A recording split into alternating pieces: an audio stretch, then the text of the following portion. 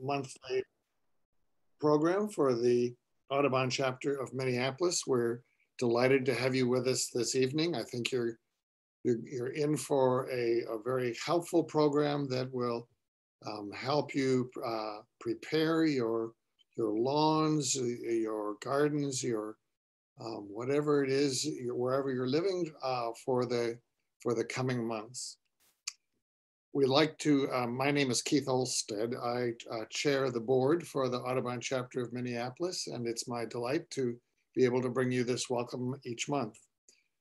We like to start our programs by finding out what people are, are seeing out there. Um, you can use uh, the chat uh, button at the bottom of your screen to tell us what you've been seeing, or you may um, also raise your hand and we can call on you. But um, uh, please tell us what what have you been seeing out there? I had a, a yellow rumped warbler uh, visit our backyard for a while this afternoon. It was fun to to see that. Um, but I, when I was down at Wood Lake a few days ago, uh, I had one wave of, of sparrows, primarily white-throated, um, uh, and then um, some uh, orange crowned warblers and um, uh, I think one common yellow throat. But that was pretty much it. I didn't see any thrushes. So uh, let's hear what you've been seeing.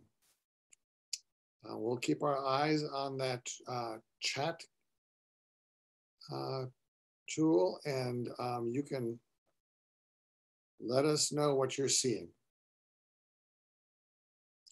I've been keeping my eye on the um, uh, keeping my eye on the um, Minnesota birding photography site where people are getting some nice shots of sandhill cranes.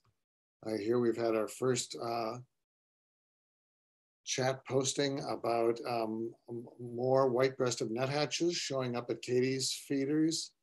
Um, Angie is seeing lots of chickadees and goldfinches in, on her cup plants. Uh, Joseph um, was at Wood Lake on Sunday and saw some double-crested cormorants and a, an American white pelican. That pelican has been hanging out there for maybe a couple weeks now. Um, and uh, the uh, neotropic cormorant uh, was also still seen at um, Richfield Lake just a few days ago. Um, so it's hanging around uh, enjoying this weather. They fortunately can continue to get their food from the open water. Um, some of the other species will be nervous about when the weather gets cold enough to restrict their access to insects. My mountain ash berries are starting to um, ripen. So I'm getting more uh, cedar waxwings and some thrushes in our mountain ash tree. But what are you seeing? Let us share with us your recent sightings and what's got what's got you excited in the migra- migratory bird world. While you're typing and um, and remembering all your great outings, uh, let me say that the um, uh, KARE 11, Channel 11, apparently has noticed that the migration is happening as well. So at 10 o'clock tonight, KARE 11 has uh, let us know that they'll be um, broadcasting a segment on bird migration and window strikes. Um, they interviewed uh, our former board chair, uh, Jerry Bahls, who's been a real leader in and um, asking the city and um, people like at the Viking Stadium and so on to address uh, bird strikes against uh, reflective glass. Uh, they've so Jerry is interviewed for this interview. Um, our the co-chair of our advocacy committee was interviewed, Constance Pepin. Um, so after tonight's program, if you're looking for some good news, check out Channel 11 and what they report about the bird migrations. So um, here Sue is asking whether the hummingbirds have left for the season. She's seen some th this year feeding in, in the, on the cardinal flower in her rain garden. Um, it's my impression that most of the hummingbirds are out of the area now. Um, and uh, I, I'm, um, I'm, I'm sorry to see them go because they sure are fun to watch, but um, there were, there were, um, there were still other birds to be seen. Well, it looks like we're not getting a lot of other reports. So um, because we have a great program to get into, let's um, move ahead with our uh, plan for the program. Um, Katie Burns, the chair of our Community Engagement Committee, uh, will be introducing tonight's speakers. So Katie, why don't you take it away? Thank you. Yeah, so fall is always an exciting time, uh, certainly here in the upper Midwest for a number of reasons. We get pretty jazzed about uh, things like apples and cider and color changes and deciduous trees. It's a pretty big to do. Uh, but there's a lot of other things that are happening in the world around us that sometimes don't get talked about or don't get near as much attention. And uh, here at Audubon chapter in Minneapolis, we are of course all about the birds. And we live smack dab in the middle of the most popular migratory pathway for birds, the Mississippi Flyway. So there's a lot of things that are happening here. And our guest tonight uh, is going to be able to share with us things that we can do in the fall uh, around where we live that can support birds and other wildlife, and not just in the fall, uh, but it extends even beyond that. She's got some really, really cool things to share with us. Um, so this is Angie Hong, and she is the coordinator for Minnesota's East Metro Water Resource Education Program, a local government partnership hosted by Washington Conservation District.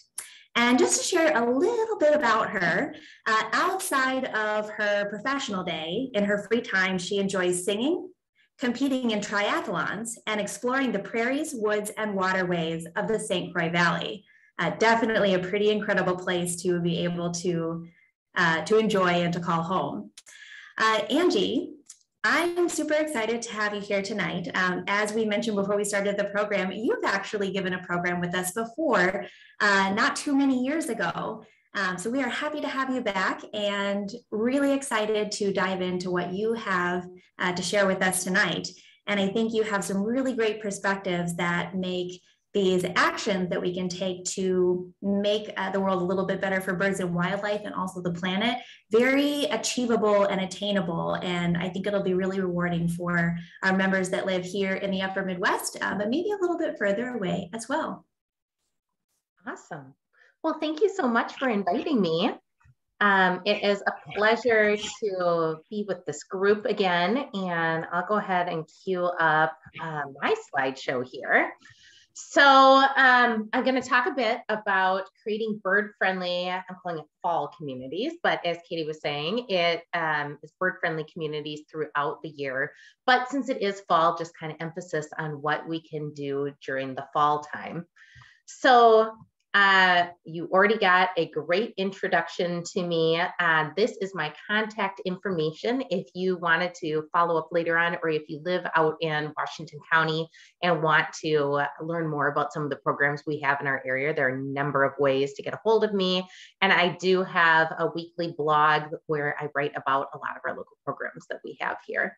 Um, so my office, I am officed out of the Washington Conservation District, which is located in Washington County. It is one of the soil and water conservation districts that we have all across Minnesota. Every county in Minnesota, with the exception of Hennepin and Ramsey County, has one. And Hennepin and Ramsey, it's now um, those services are provided by the county.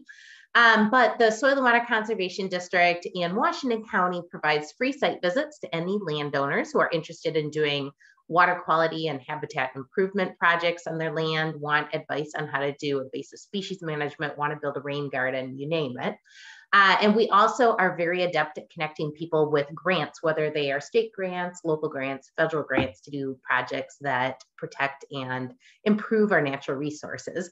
And then we do a lot of workshops throughout the year. But that's not all. That's not the only person I work for. Um, it's actually a partnership. Um, the East Metro Water Resource Education Program is 25 local units of government that all work together to provide education to the public about, about protecting our water. Um, so I have a map here showing the eight different watershed management areas in Washington County and the different um, entities that manage those. And then in addition, we have the county and 15 of the cities that are all part of this program. Okay, so on to what I am going to talk about tonight. Uh, just going to start by talking a little bit about birds and migration, since that is what is happening right now. And then want to highlight five ways that we can help to protect birds throughout the year, but especially during migration time. Um, so talk about the lights out programs, some fall gardening tips, buckthorn removal, protecting water resources, and then planning for next year.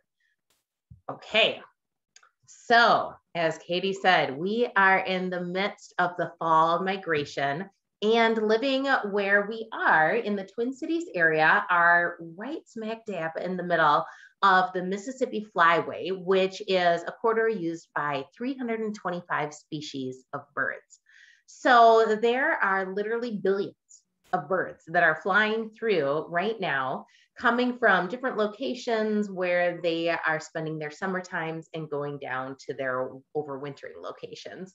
And the birds are generally using the riverways, so the Mississippi River, the St. Croix River, the Minnesota River, because it provides corridors of connected habitat and a um, you know a, a navig something to help them navigate along the way. So we are just kind of smack dab in the middle of it and seeing lots of birds at this time of year that we might not see at other times of the year. Uh, so I want you to get your get your chats um, ready. We're just going to play a fun and easy game and this is where I admit to you that I am not a bird expert. I am actually not. I am a generalist in terms of environmental education. I love birds and I know a bit about birds, um, but I know that you all know a lot about birds and that there are probably some people who have logged on to this webinar because you're like me, you kind of like birds, but maybe aren't a bird expert. So we're just gonna, I'm gonna share some photos of some common birds and I want your guesses, are they ones that migrate or not? So we're starting with an easy one, a chickadee. Chickadee, dee, dee, dee, dee. So go ahead and drop your guess in the chat. Does the chickadee migrate or does the chickadee not migrate? We've got one guess, don't think so. No? Okay, you're right, chickadees, not usually migrating, nope. Because if you think to think of a winter's day going out on kind of a quiet winter's day and standing in the woods. What is maybe one of the only sounds that you can hear? It's probably that chickadee dee dee dee kind of echoing in the woods chickadee dee dee how about this one?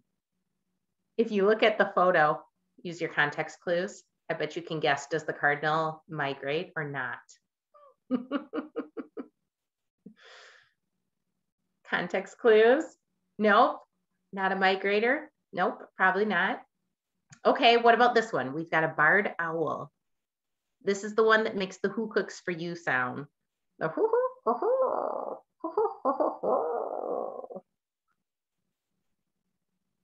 Do I see? I didn't. I didn't catch if there was new guesses or not. Is this one that's migrating? Okay, not migrating. Not migrating. Okay, what about the robin?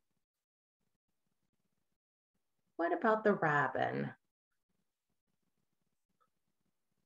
We always hear that this is one of the first signs of spring, right? When you start to see the robins coming back. So these are ones that will not always, but usually migrate. Okay, what about the goldfinch? Does goldfinch migrate? Goldfinch migrate?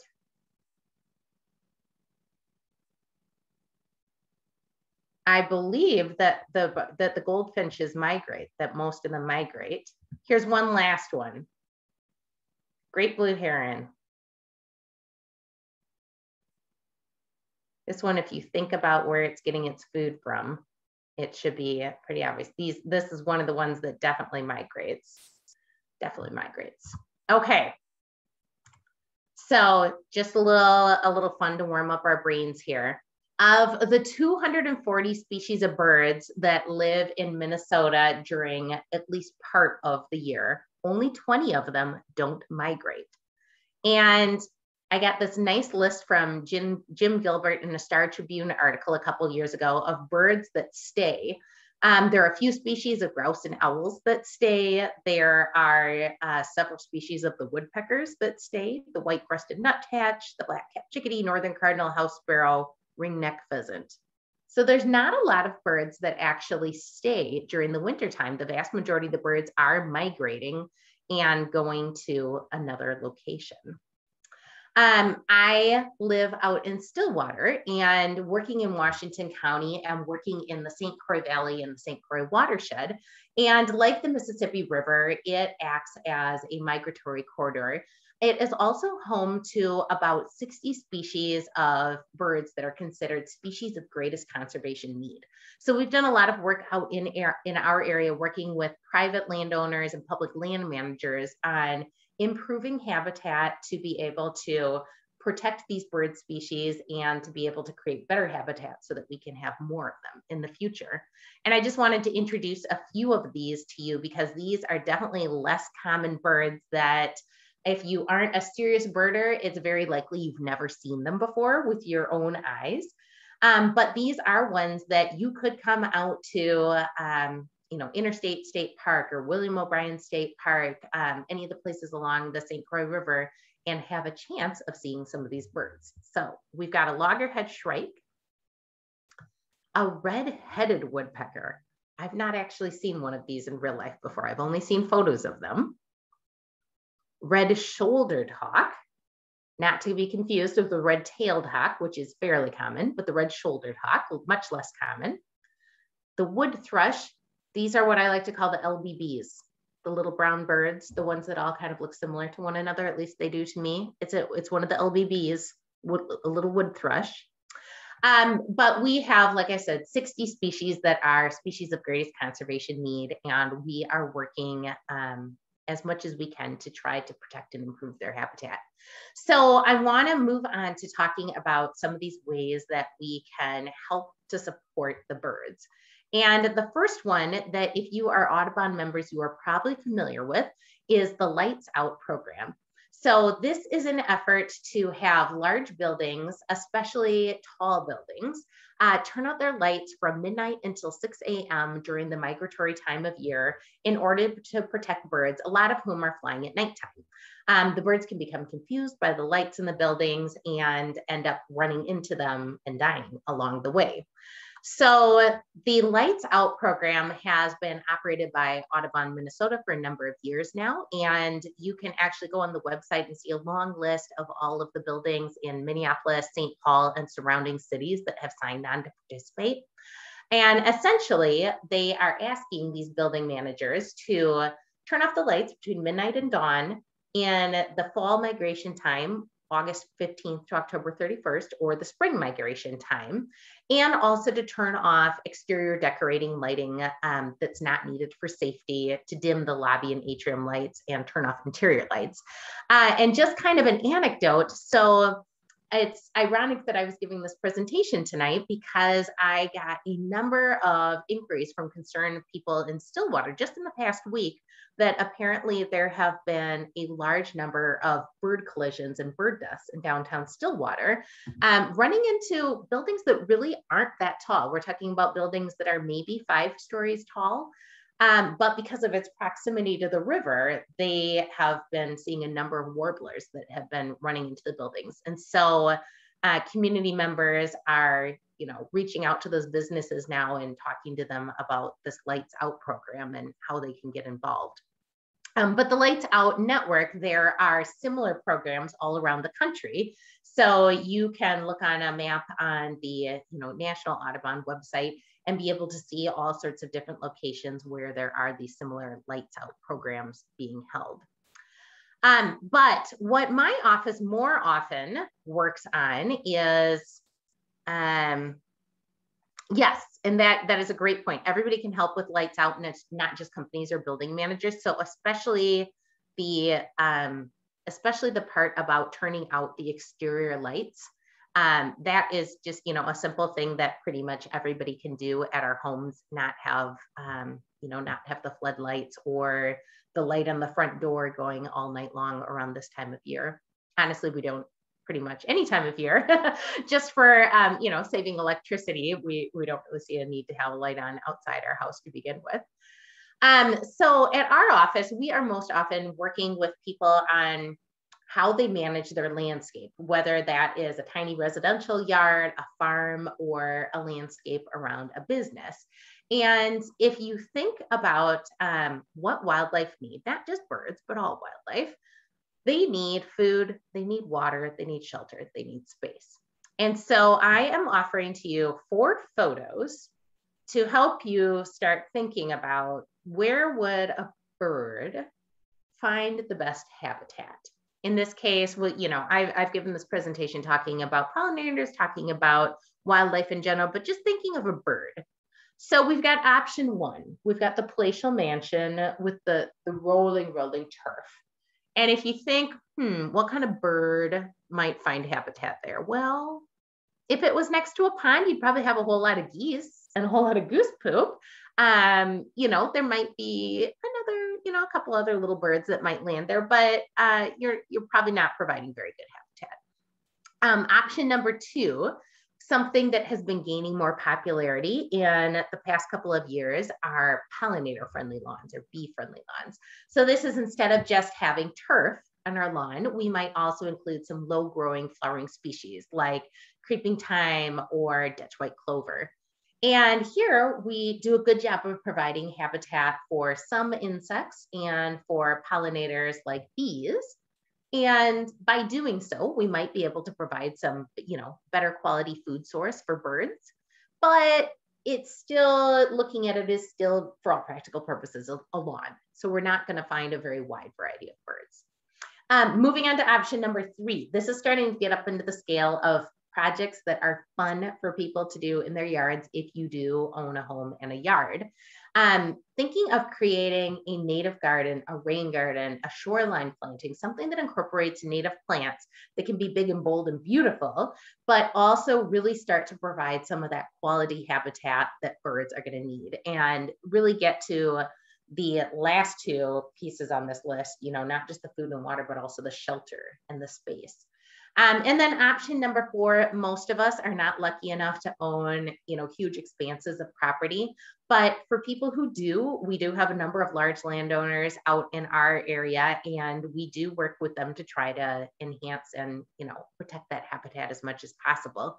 If you don't, it's likely that there are parks and there are public spaces that are in your community where volunteers are working to take care of the habitat. And I'm going to share in a couple of minutes a few upcoming volunteer opportunities in the month of October. So even if you don't own land of your own, there's still ways that you can um, be in, engaged and active in your community and helping to protect habitat for birds and wildlife. Okay, so gonna move on to talking a little bit about fall gardening. And the first thing that I like to tell people about fall gardening is not what you should do, but what you shouldn't do. At this time of year, it really is a time of year to kind of sit back and relax and take it easy. And there's a lot of things that we traditionally have been taught that we should be doing at this time of year that we are now realizing are counterproductive and even detrimental. So, one of the things that people tend to do at this time of year is once your flowers are done flowering and you've just got, you know, the the standing stem there with the seed head on it, people think that they need to cut those down, that it doesn't really look very nice. And in fact, that's providing seeds for the birds. And I mentioned at the beginning um, when there was a question, what birds are you seeing in your neighborhood? I have some standing cup plant outside of my uh, dining room window that I'm looking at all the time. And it hasn't had flowers on it for a couple of weeks now, but is just constantly covered in goldfinch and chickadees because they're out there gathering all the seeds and getting themselves fattened up for the winter or for flying. Um, Another thing that is important about all those stems is that there are a lot of insects that will lay their eggs inside of those. And that is how the eggs actually overwinter.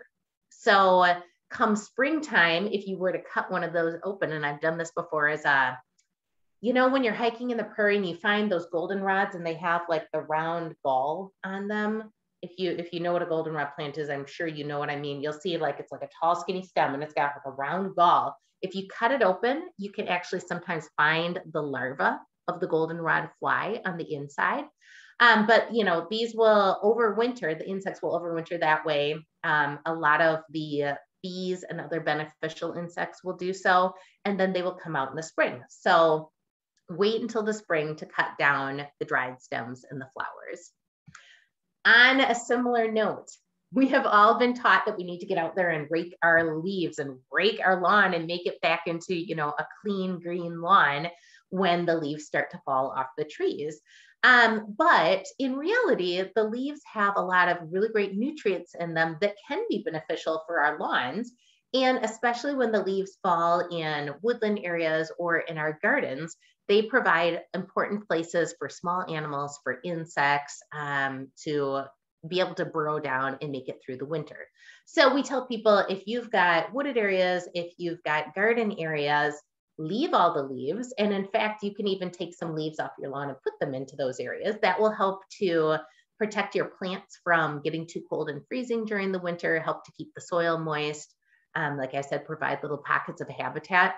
Um, but on your lawn, you can actually just go ahead and mow over it a couple of times and break up the leaves into really fine pieces so that they will decompose and um, leach the nutrients back into the lawn instead of gathering up all the leaves and, you know, taking them away and taking away those good nutrients that your soil wants.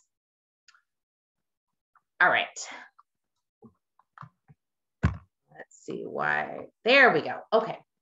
Um, so because it is fall and everybody is oohing and eyeing at the leaves right now, I wanted to highlight a couple of plants that are ones you could consider incorporating into your yard to have beautiful fall color and also to continue to provide a source of nectar for um, pollinators and also a source of seeds for birds and other animals that are eating them at this time of year. So one of the plants that always comes to my mind when we're thinking about the fall is the goldenrod.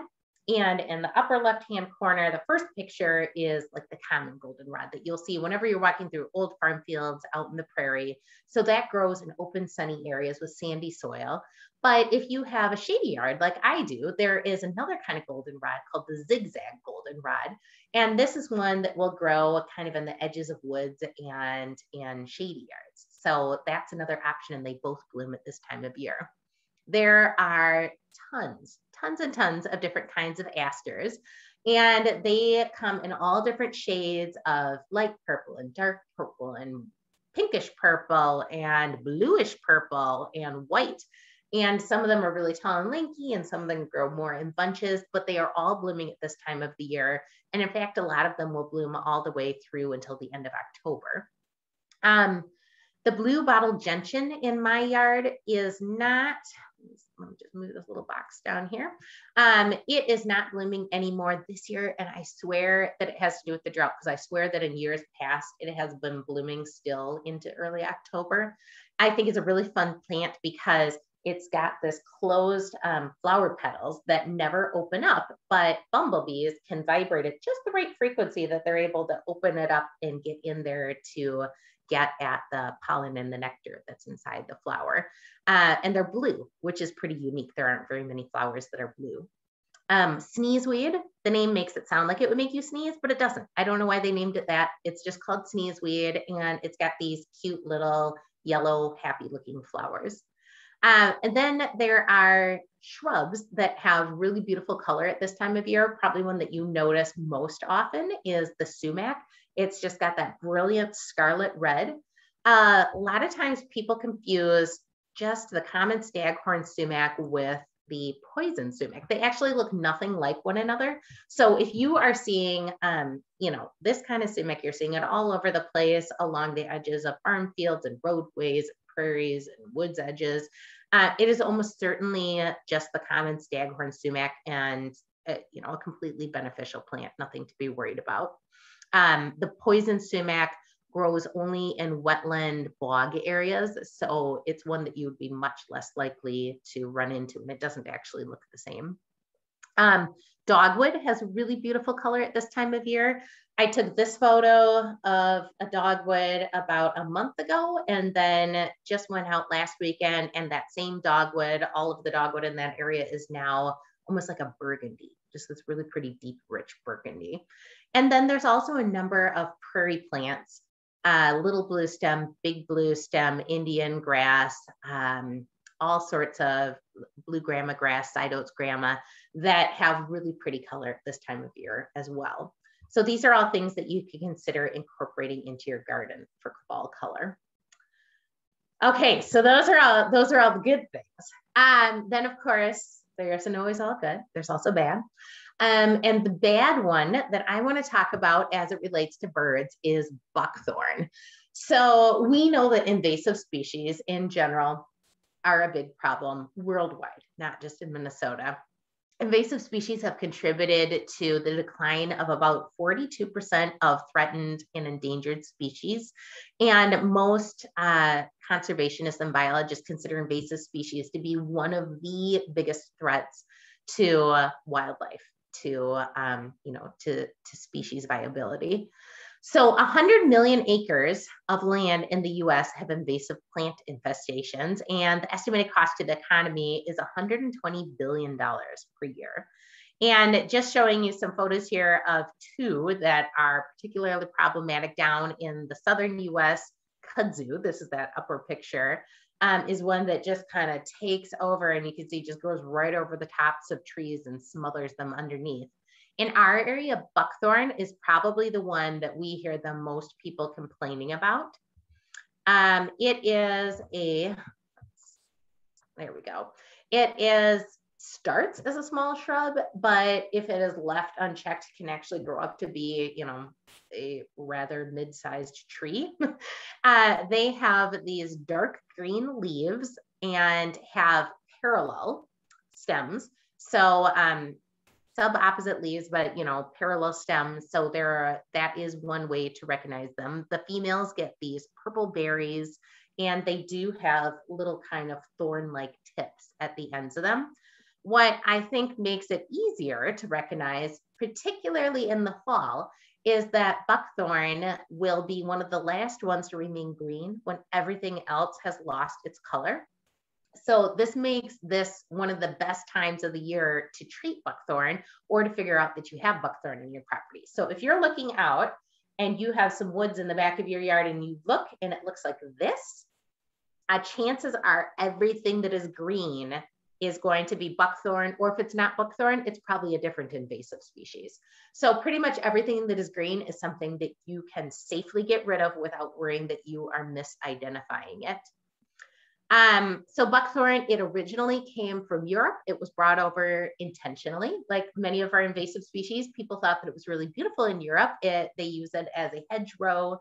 And when it came here, it did not stay put the way that it does in Europe. So it has since become a really big problem. And in a lot of our local woodlands, it has invaded to the point that we don't have uh, the other native plants there that need to support the wildlife. So, what are some of the best options for treating buckthorn? This is, um, like I said, one of the biggest questions that we get from the public, and it's really tough because I'm going to be totally honest, buckthorn is super hard to treat and get rid of.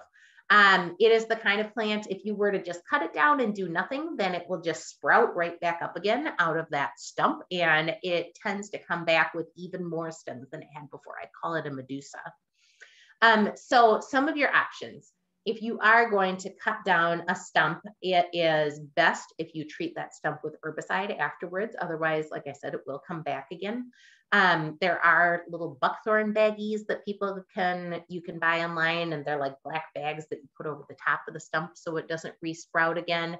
Um, a couple of other options uh, people for a long time, we were really promoting the use of weed wrenches that you use. It's the second picture here. Um, it's like a lever and you've got, you know, this bright orange weed wrench and you can pull the buckthorn right out of the ground, roots and all, so it doesn't grow back. So that's great because then you don't have to use herbicide. Um, but the downside is that it really disturbs the soil underneath. And we discovered over time that sometimes it seems like it's actually causing more invasive species to come in. So if you have an area where you were pulling out buckthorn, then as soon as that was out, then a bunch of garlic mustard came in in its place. Um, another option to try if you are okay using small amounts of herbicide is basal bark treatment. And this is basically just taking um, herbicide if you have like a backpack spray with a tiny little wand and can use it to just put it just at the base of buckthorn plants and be able to kind of kill them standing dead without pulling them out of the ground or without cutting them down. Um, and that avoids disturbing the soil and is a lot less work if you're treating a really large area. Um, a fourth option this is the most fun of all. A fourth option is you can rent some goats. Uh, in Washington County, Washington County Parks has been using goats to clear invasive species and help them with some of the oak savanna restoration that they have been doing at Lake Elmo Regional Park, Woodland, Resor- Woodland um, Restoration at Cottage Grove Ravine Regional Park. And it's super fun. People love the goats. Of course, they love the goats. Um, so these are the goats at Lake Elmo Park Reserve during the summertime where they are clearing some invasive species and eating up some of those little buckthorn saplings that are starting to come back up again. And then this is a photo of what it looked like in late November where you can actually see the lake through the woods. Um, this is a spot where five years ago, you actually couldn't see the water if you were standing in the trail at the spot because the, the buckthorn was so thick. And now you can see it's just nice, clear down to the water. Um, Constance says, even treating the stumps may not prevent sprouting. Ah, yes, yes. So um, the hack, hack, hack again works. it does work. And as long as you have um, a small enough area that you can continually keep hitting the plants over and over, that's a great option. Um, we do also use mowing sometimes um, because that kind of accomplishes that same goal of, you know, the hack, hack, hack again. Okay, so we know that buckthorn is a problem, and this is where you can potentially get involved and help to do something about it. And I offer not one, not two, not three, but four, four, four possible times, basically every single weekend in October, you could be out there. You could be helping to remove buckthorn and helping to improve habitat with a volunteer group at a different beautiful place of your choosing in the Twin Cities area. Uh, so this coming Saturday, there will be a group on the 3M campus in Cottage Grove working with Friends of the Mississippi River and helping to restore oak savanna along the Mississippi River. So this is kind of fun because it's property that normally is not open to the public, but you would get to see it if you are helping to volunteer. And all of the equipment is provided along with breakfast and a catered lunch. Uh, then the next weekend, Bassett Creek Park in Minneapolis is also cutting and pulling buckthorn. And at this one, if you go to this one, you get a free drink ticket afterwards that can even be used for alcoholic beverages. So that's an incentive. On Saturday, October 23rd, then volunteers are going to be at Sunfish Lake Park in Lake Elmo that are cutting buckthorn and reseeding with native plants. And there they are going to burn the buckthorn to make the bonfire that they make the hot dogs with. So that's fun. Um, and then the last weekend of the month, you could go down to Pine Bend Bluffs Natural Area in Inver Grove Heights. This is another one that's normally off limits to the public. Um, but another Friends the Mississippi River event where they will have people out doing habitat restoration there. Yes, I know, right? So four fun ways to get involved, um, even if you don't have a yard or land of your own. Okay, so the um, next thing that I want to talk about is water. And it might not initially seem obvious why I would talk about water when talking about birds, unless of course I show you a photo of a loon swimming in the water.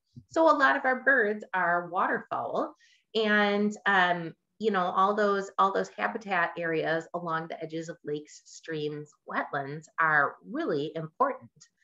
Um, around this time of year, a weird thing starts to happen.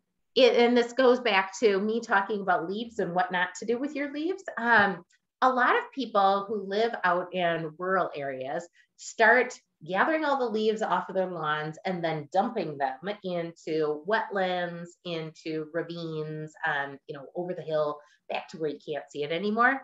And though leaves are natural, and though I just told you all the great things about them having so many nutrients, which is great for your lawn, what we don't want to have happen is for all of those nutrients to get concentrated and dumped into our water, because that ends up leading to algae growth during the next year's spring and summer. Um, so we're trying to get the message out there that even though leaves are natural, it is not good to pile all your leaves in natural areas and is in fact um, illegal to do so. Have you heard of the Adopt a Drain program? Please tell me you've heard of the Adopt a Drain program.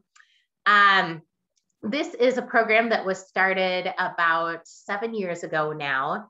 And what we are doing is encouraging people to adopt storm drains that are in their neighborhoods. And you go to this adoptadrain.org website and you can pull up a little map and it will show you where all the storm, you just type in your address and it shows you where all the storm drains are in your neighborhood. And you can click on one and you can adopt it. And by adopting it, basically all you're doing is agreeing to go out there maybe once or twice a month and you do just what this kid and his dad are doing. You go out there and you are raking up the leaves and the grass clippings and whatever might go down into the storm drain and you're disposing of them properly. You pick up the litter. It should take you maybe two minutes twice a month. So it's a super low um, commitment volunteer activity. But we have had 16,426 storm drains adopted so far in the Twin Cities area. So I think that is really fun. It's a really great, easy way to get involved. And it is a nice way to help protect our water. So if you haven't already, go adopt a storm drain. Um, if you do live on the water or you have property up north, you have a cabin that's on the water, it's really important to protect the shoreline buffer areas that are along the water and um, not to cut down the vegetation to be able to more easily access the water because we have a lot of really, really high quality habitat concentrated in those areas right along the water. About 43% of threatened and endangered plant and animal species live in or depend on wetlands. And it's not just birds, it's turtles, it is frogs, it is salamanders, um, all sorts of wildlife that are living in these areas. So we also at the Washington Conservation District frequently work with landowners who might move into a home and have something that looks like this. So in this example, um, the, the woman who owns this property out in Stillwater Township, it's about an acre of land. And she called our office because she said, well, I've got this you know, little pond that's out there. You can see that whoever had previously owned it was using it as a very highly manicured space. You know, they had mowed all the way down to the pond. There's a little fountain that's down there. It kind of looks to me like the kind of fountain and pond that you might find in, um, you know, like the the parking lot of a Target, but it's in you know in her backyard out in the country, and she wanted something that would look look prettier and provide more habitat. Um, it is steep slopes. They were sick of mowing it. It is you know really soggy, wet ground by the time you get down to by the water's edge. And our office worked with her to design and install a transformation that makes it look like this. And, and isn't this like 10,000 times better? Um, so what they did basically was take this, you know, highly altered, um, oh, there we go, highly altered non-habitat and turn it into something that really is a functioning intact habitat that provides places for you know the turtles the frogs the salamanders and the birds to be able to find food to live to shelter so um, in many locations there is going to be grant funding available through watershed districts for projects like this to help you pay to do something like this and um, other assistance through the conservation district in your area that you could help you help you figure out how to get started and what to do. So on that topic, then the the the last thing that I wanted to talk about tonight, planning for next year, uh, because it's it's not quite the end of the year, but it is kind of getting to be the end of the growing season, and so a lot of people were thinking not so much about what we want to do in our yard this year, but what kind of changes we want to make for next year. Um, surprisingly, you might not realize it, but uh, fall is actually an okay time to do native plantings. So if you are getting the, you know, getting the creative urge and wanting to get out there and put some more native plants in your yard, don't think that you need to wait until the spring. Um, you could be planting them right now in the month of October. You could probably be planting all the way up until mid-November when the ground starts to freeze. Um, but if you are interested in doing something like a dormant seeding of a prairie bee lawn or low mow, early to mid-November is actually one of the best times you can do that as well. Um, so feel free to follow up with me by email if you want more information about how to do any of those kinds of projects. But just want to put it out there that it's not over yet, that the fall, fall is still a good time to do things. Um, the Washington Conservation District and most of the other conservation districts in our area do an annual tree sale. So we usually start accepting orders around November and we um, pre-sell the trees. So you order them in bundles of 25 bare root tree seedlings for $35. And then at the end of April next spring, you come out to the Washington County Fairgrounds and you pick up your trees and away you go. Um, so this is something we've been doing since 1978 and our office typically sells around 20,000 trees per year. There's a heck of a lot of trees going out there. Um, so just, you know, keep an eye on our website. I know that Anoka Conservation District also has a tree sale. Um, Chisago Conservation District has a tree sale. So there's a lot of opportunities to buy low cost trees if you are looking to do habitat restoration. Um, I did want to highlight some tree species in particular for a specific reason related to birds. Many of you may be familiar with this book, Bringing Nature Home, which was written by Doug Tallamy. And in his book, he talked about the importance of having native trees and native shrubs in our yards because they attract the native insects, which are what the birds eat. And so if we have a tree, which is a decorative tree, but not native to here, it might only attract hmm, like three different species of insects. Whereas if we have a native tree, it might attract a hundred different species of insects. And I don't want you to be creeped out by the idea of having a tree covered in insects. Um, these are insects that provide a foundational, um, you know, the, the foundation of the food web. So these are what the birds are eating and a critical source of protein for them throughout the year. So basically, you plant these kinds of trees in your yard and you are guaranteed to get more birds. So just a few of the ones, and I'm gonna start with ones that are good and move up to ones that are super good. So hackberry, this is a nice, good option.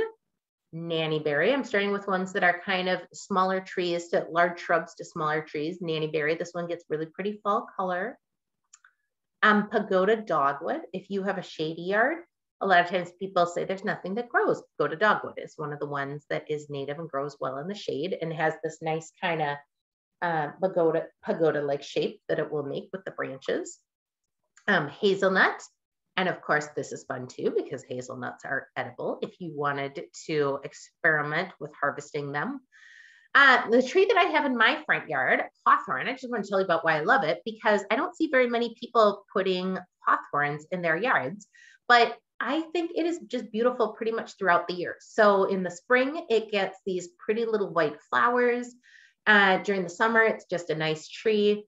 At this time of year, the berries have turned bright orange. Then the leaves start to turn. They get this really pretty orange and red color. And then I almost like it best of all in the middle of the winter because look at it. It's so it's so nice. It's got this bright pop. Um, the berries were bright orange and they turn bright red by the time you make it to December.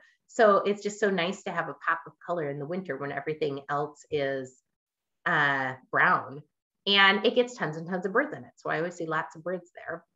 Uh, wild plum, this is another good one. Red osier dogwood. Black cherry, we're getting up there. White pine, uh, red maple, and white oak. This is the granddaddy in terms of bird habitat. Uh, the white oak is a host to 512 species of larval insects. So it's basically just a big giant bird buffet. Um, obviously, oaks are slow growing, but if you have the room and you have the time, plant an oak now, and it will create great habitat into the future. Um, so as I'm wrapping up, just wanted to share some resources to help you get started if you are interested in doing things on your own property. And I can email all of these to Katie tomorrow so that everybody who registered, you can, you know, she can send it out to the to the list and everybody can get these in easily clickable fashion. Um, obviously, you know, Audubon, Minnesota, you are at an Audubon program tons and tons of information about birds, conservation, community science on the Audubon website. If you live out in Washington County, like I mentioned earlier, we do offer free site visits.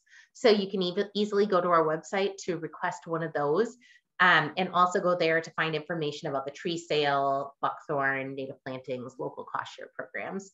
Uh, if you are anywhere in Minnesota, the bluethumb.org website is a great resource, kind of a one stop shop for everything having to do with native plantings, native gardenings. So there's a plant selector tool that can help you figure out what will grow right in your yard, native plant suppliers and contractors, workshops and events, um, all sorts of really great information you can find there. and all right, looks like we've got Audubon of Chapter Minneapolis also has a Facebook page. So this is this is a great place to stay in the loop as well. All right, I'm gonna see if we got if we've got questions here. I didn't see any popping up. Great, thank you so much. It was wonderful seeing just so many opportunities for people to take action no matter where they live. Um, lots of really cool resources as well. And uh, loved seeing the adopt a drain element too um, for Audubon chapter Minneapolis members, people who are on our email list. Um, they would have gotten a call to action at the beginning of the month here, kind of the change of the month that fall is our, our big ask to adopt a drain and uh, looking at getting as many of those creative, fun drain names as possible. So it'll be really cool to see mm-hmm. what people come up with. Um, so to keep things organized for us, uh, if anyone has any questions, let's drop them into the Q and A function. Um, I know chat can kind of get lost a little bit. Let's keep all the questions in the Q and A function. And uh, we will be, so we're recording this program and it takes us a couple of days since we're volunteer supported for us to get that recording downloaded and uh, get it up um, available through our uh, social media platforms. So we will be posting that. And any of the resources and things that um, Angie will be emailing to us, we'll make sure to get those posted in the, the comments as well through social media. Um, and we'll have this available on our YouTube page as well.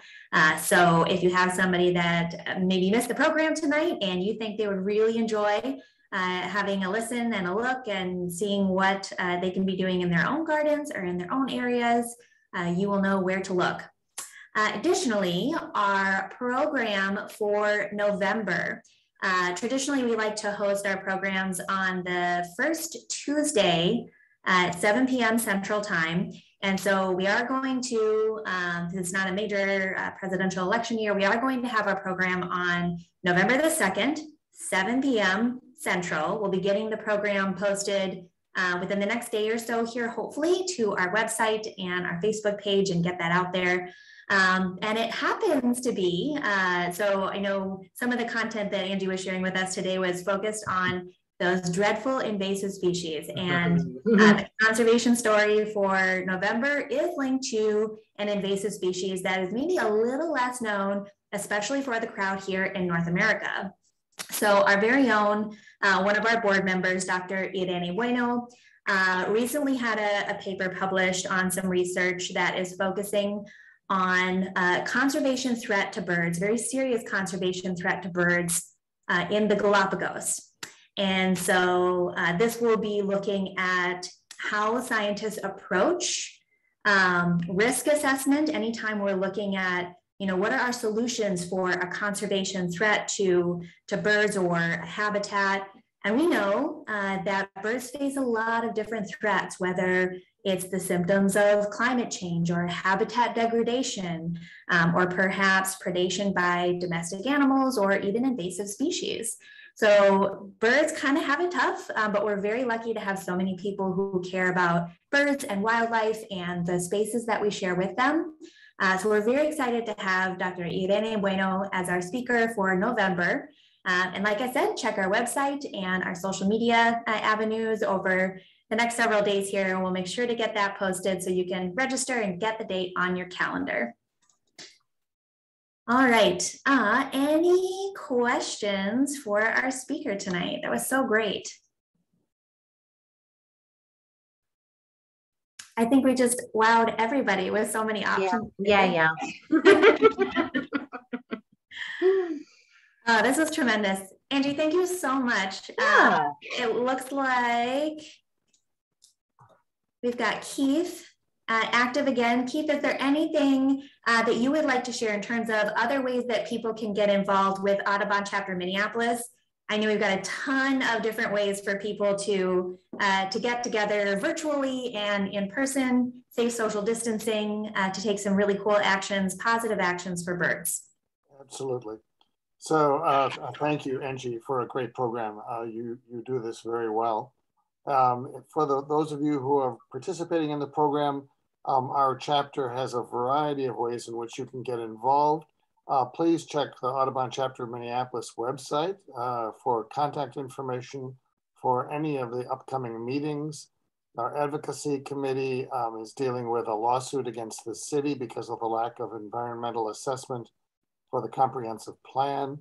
Um, we're also um, uh, challenging both the city and the park board about a variety of environmental policies, and we could use your help with that. Um, commenting on plans and um, and other um, activities uh, in in the um, spaces in our in our area. The uh, community engagement committee is uh, planning field trips, uh, planning programs. Um, we'd love to have you step in there. Our Equity, Diversity, and Inclusion and Belonging uh, Committee is building relationships with a variety of different organizations and um, uh, people of, of, various diversities, um, engaging more diverse leaders and communities. And our Migration Partners Committee um, uh, has a, a MoSI bird banding station starting up in uh, the Zamorano area in Honduras and here in November. And is also now, um, we learned just uh, today, um, moving forward on developing a partnership between classrooms in our schools here in Minneapolis with some classrooms in Honduras about environmental education. So check our website, um, make contact with the leaders of each of these committees and do join us to get involved. Uh, Katie, do you want to say any more about particularly community engagement activities or uh, we have the next meeting uh, coming up very soon, so check the website and you can reach out to uh, myself, certainly. Um, I will, I believe our contact information for that meeting um, is on the website, but there's a lot of really cool things that we want to do this fall in terms of getting out to bird. Um, we really want to get a group kind of reignited around um, birdability, so accessible birding, um, and get out there while the weather is still good. Um, we've had a lot of conversations with uh, birders who are using wheelchairs and thinking about um, not only just the quality of the trails and being able to gain access to those areas before there's snow and ice and things like that, um, but also the temperature that impacts um, the batteries as well. And so really thinking about all those different things and um, we have a small group that is raring to go and wants to get out and start evaluating some places that we think could be really great for seeing birds in the fall. Um, and we can help to evaluate those great birding spots for uh, birders who do have accessibility challenges and then contribute to that larger birdability effort that National Audubon Society is participating in. There's a great website where you can either uh, participate in birdability uh, birding outings with us or you can go on your own. So we encourage you to check that out and, and learn about that initiative as well, uh, because we do believe that outdoor spaces and birding um, should be accessible to all, and we want to do our part to support that. Um, outside of the birding and just having fun, we definitely have some service opportunities and volunteering. Um, and we'll be talking about some of those pieces at our virtual get together soon. So go to our website and you can email me directly or Irene, our other co-chair, and we'll tell you what's happening and when. We'd love to have you join us. And it looks like we do have a, a question yeah. in Q&A. Yeah, I, I did see that. A question from Sue. When should we stop deadheading our flowers for birds and wildlife? Um, so I assume you're you're talking about like when you're deadheading with a plant that will keep flowering, like a lot of plants, you deadhead them and then they'll flower some more and deadhead and flower some more. So basically when you get to you get to that point where they're not going to flower anymore and this is just kind of their final seed head that's when you would want to yeah go ahead and and cut it out and um, just leave those remaining seed heads up for the fall and the winter then Yeah, plenty more food for birds. I get a, a lot of action on uh, a lot of my coneflowers and things like that with a lot of the finches. It's and chickadees as well. It's really fun to enjoy them and they get a little bit closer to with some of the gardens in the winter. It's pretty neat. Yeah, um, I don't know the answer to this question from Sue. When should we cut back summer raspberry plants for the birds? Do the birds eat them? Um, the I mean, the birds definitely eat the raspberries, but I I think that's a question for Minnesota Extension. I bet you anything that they would have information about that on the Minnesota Extension website or the the Ask a Master Gardener Yep, I'm sure that they would. Um, I know leaving as much as we can for the birds is great. Um, and when you're thinking about cutback, um, what you know, what is it that you're trying to achieve with the cutback, and thinking about you know introducing that that wound, and you know how does that plant respond to that type of an injury, um, essentially. So yeah, I think that's a great recommendation to check resources and to get you know the best advice you can, so you can set yourself up to be successful uh, in the spring and the summer for the following year. And two, um, if you know we're a little concerned about um, cutbacks and you know thinking about um, well, I don't want this plant to be you know out of control. Um, having having that input, we have a lot of really great resources. Um, but if you're a little concerned about it, I think there's no rush or no reason to to clip right away. Um, it can provide a little extra cover for birds depending on what you know your habitat is like. Um, so yeah, I think I think it's a great suggestion. Well, thank you so much for inviting me. Of course. Thank you so much. Um, Keith, if you don't have anything else, I think we will release everyone to enjoy the rest of their evening. Well, and I hope the rest of their evening will include checking in with Channel 11 at 10 o'clock to see about migrating birds and window strikes. That's right. Thank you so much for, for spotlighting that too. It'll be great to see and we'll have to get that posted. Thanks again, Angie. Take care. Good night. Good night.